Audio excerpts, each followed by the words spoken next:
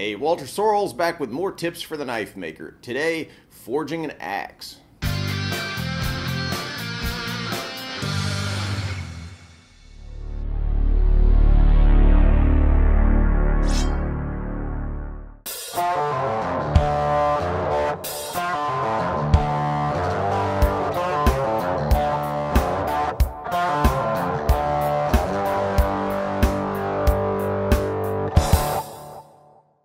So the axe that I'm going to be forging today is not going to be a full-size felling axe, uh, but it's also going to be bigger than a hatchet. So kind of a hunter's axe or a sort of a medium-sized axe that you'd use for limbing or, you know, that you might take camping or something like that, but where you wanted something a little bigger than a hatchet. Uh, this video is going to be broken into two pieces. Uh, we're going to do the first part showing the forging of the axe head itself, and then the second part will show the making of the haft or the handle. All right, let's jump on it. I'll be honest, I haven't made many axes before, so this is somewhat of a learning experience for me. I'll begin with a piece of 01 tool steel. Normally axes are made from lower carbon steel than this, but this should work just fine.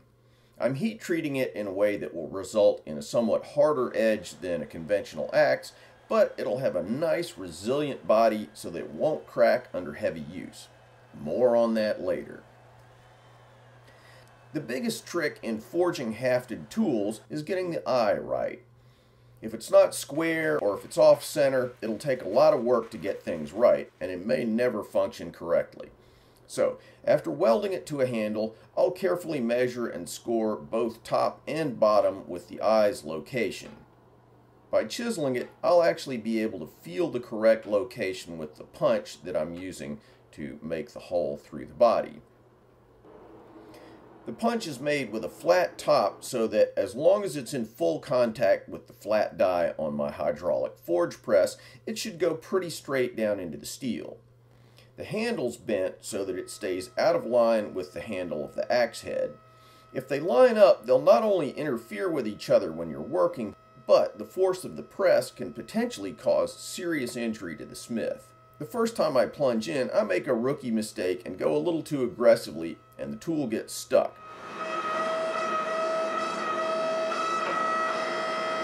A little bit of banging and swearing fixes everything, but I'll go slower on the next plunge. I'm working from both sides, alternating one to the next. If you only go from one side, it's easy to get out of line and end up with a cockeyed hole. All we're trying to do here is to get an even hole all the way through. We'll enlarge it later.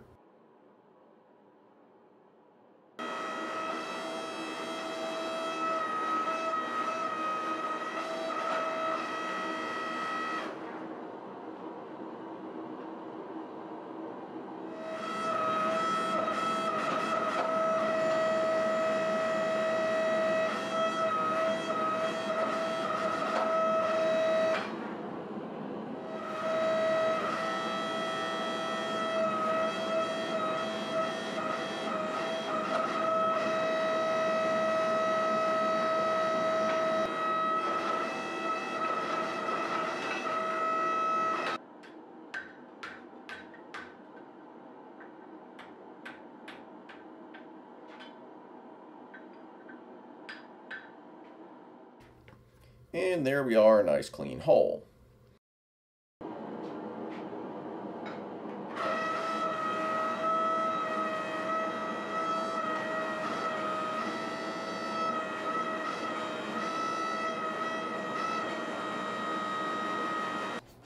Now we'll turn to a drift. A drift is basically a punch that's shaped to the exact shape and dimension of the hole that you're aiming to produce. Typically axes have a bore that's shaped sort of like an elongated egg, with the skinny part of the egg pointing down towards the edge. You can make drifts in hammer through form where there's no handle and you just drive them right on through until they fall out the other side, and those produce a pretty even hole. Or you can make them with a handle, like I did here, which can only be hammered partially through the head and then have to be withdrawn after each heat. This results in a tapered hole if you only go in one direction, or an hourglass bore, as will be the case here, when you use the drift from both sides. I start out using the Hardy hole on the anvil. In subsequent heats, as the tool gets too big for the hardy hole, I'll turn to my post leg vise.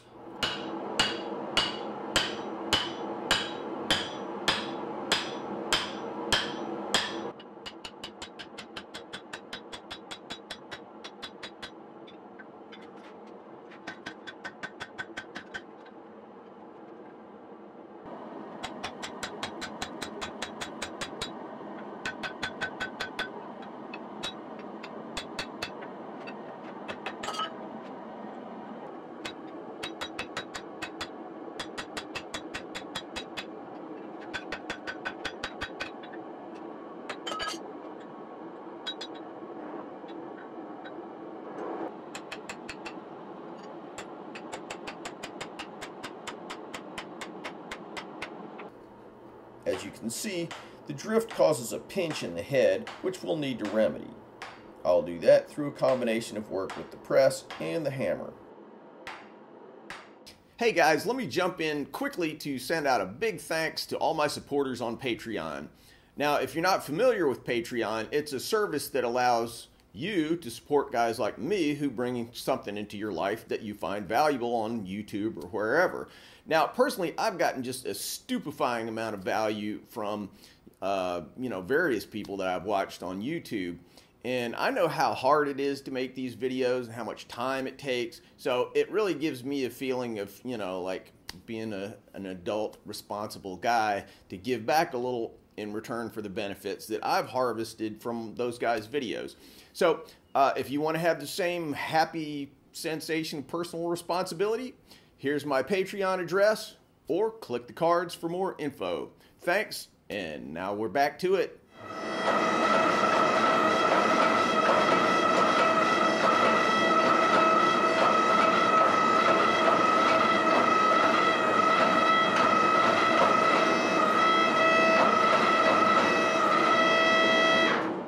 Next, I'll do some preliminary shaping of the blade. For that, I'll change dies on my press. I want to expand the width of the blade while thinning it. If I simply used a normal drawing die or a flat die, I'd end up with an axe that didn't really flare out much, and that would be, well, the technical word is crappy. I'll do the shaping of the blade in several stages, but I want to get the roughest work done here so that I don't have to go too hog wild on this thing after I've perfected the shape of the eye.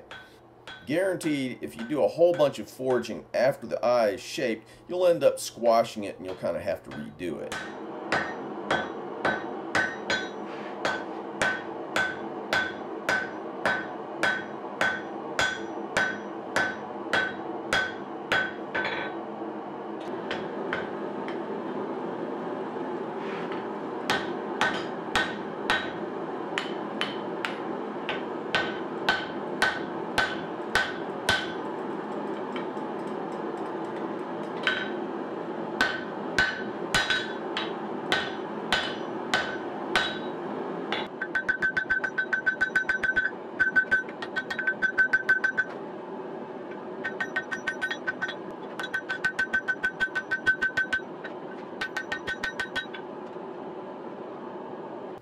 Forging a tang that runs down into the hammer, we give a little bit of extra support to the axe head.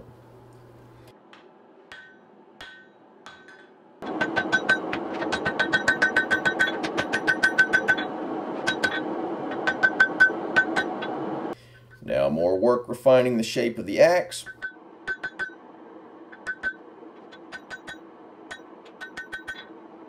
I want the bit to thicken a bit as it moves into the body and then dip down with a tiny relief behind that and that'll help it bite into the wood without binding. If an axe is a simple wedge, it won't cut nearly as effectively as if it has that relief forged into it.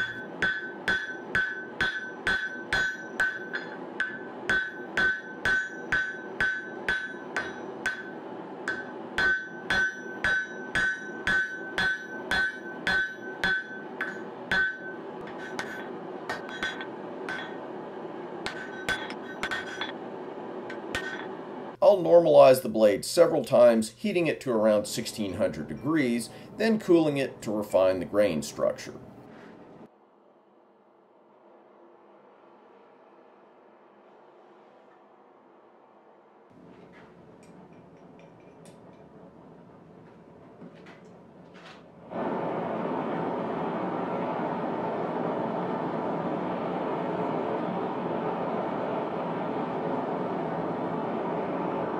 Then I'll roughly anneal the blade, heating it to below critical temperature and then leaving it to cool in the forge. This should result in a ductile, close-grained blank, making it shock resistant and unlikely to crack. Now I'll turn to the grinder and refine the shape a little. I could take off all the scale and make it look like it came from a factory, or I could leave all the scale on and have it potentially end up with some kind of geometrical flaws that'll undermine performance. So I'll kind of split the difference, doing my best to maintain that hand-forged rustic look while refining the symmetry and geometry to make it perform well.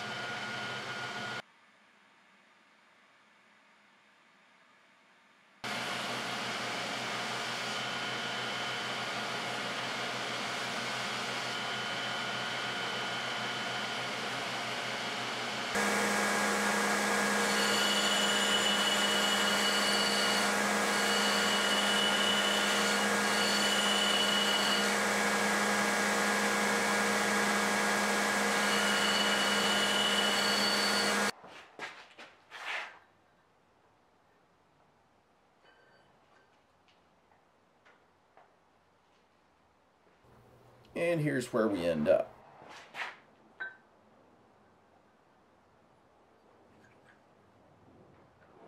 Next, it's time for heat treat. It's not uncommon to see axes fully hardened and then to torch temper them back around the eye so that there's no danger of them cracking during use.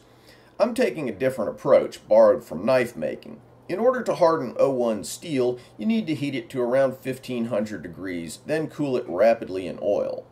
In this case, I'm positioning the blade so that only the edge will be brought to critical temperature. The rest of the blade will get pretty hot, of course, but not hot enough to make the martensite transformation that will harden the blade.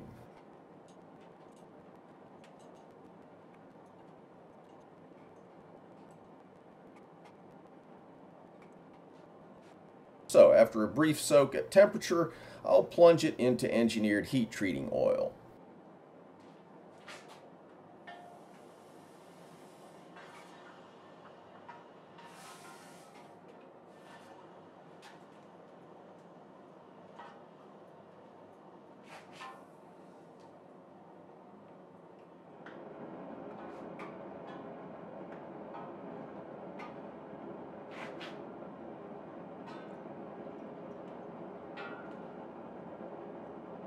A quick test with a file reveals that the steel has hardened on the edge, the file just skating across the surface, while it bites into the body of the blade, revealing it to be nice and soft, where we want it nice and soft. Then it's into the tempering oven at 475 Fahrenheit for two hours. This will soften the hardened portion of the blade just a little bit more, relieving it of any potential brittleness.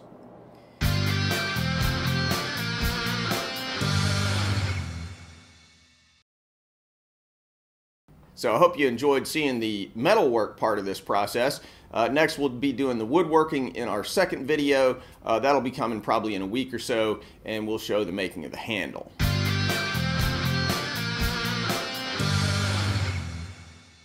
Thanks for watching, guys. If you feel like you got something out of this video, don't forget to subscribe. Also, click on the link to Patreon for a great way to give back to the channel. Plus, check me out on Instagram, Facebook, Twitter, Links in the description. If you want something sharp and pointy, maybe a gift for yourself or one of the cooler people in your life, check out my Tactix Armory website and pick up one of our tactical or outdoor knives. And finally, if you want to learn to make Hamons or Japanese swords, check out waltersorrellsblades.com where you can find videos about how I make Hamons as well as forging, mounting, polishing, and fittings for Japanese swords. Thanks and see you soon.